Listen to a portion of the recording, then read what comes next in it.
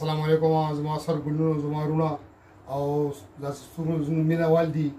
دا لپاره د اختر ډالۍ ده سره خدمتکار استاد